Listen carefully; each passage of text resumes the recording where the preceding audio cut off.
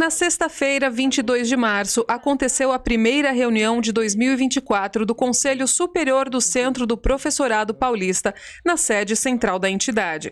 A professora Loretana Paulieri Pancera, presidente do CPP, participou da reunião de forma online.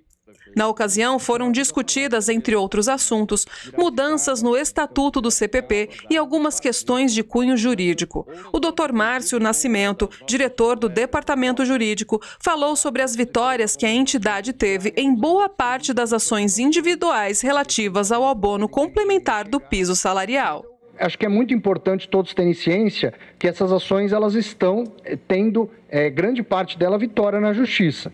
Né? Claro, não dá para dizer 100%, ainda é um tema novo. Algumas ações foram julgadas parcialmente procedentes, outras poucas ações tiveram sim improcedência e nós estamos recorrendo, mas a grande parte delas está sendo vitoriosa. Também foi mencionada a necessidade de uma aprovação do Conselho para que o Departamento Jurídico pudesse entrar com ação coletiva relacionada aos problemas enfrentados por alguns professores no que diz respeito ao recolhimento do INSS.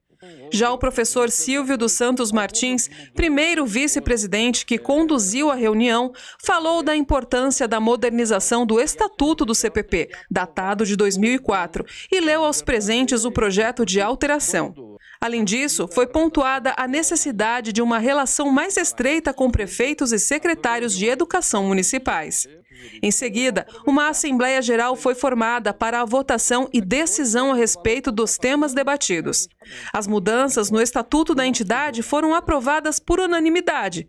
Dentre as alterações, podemos destacar que o CPP passará a congregar professores e especialistas da educação do ensino público federal, estadual, municipal e privado do Estado de São Paulo. O pedido do Departamento Jurídico sobre as ações coletivas também foi unanimamente aprovado na Assembleia.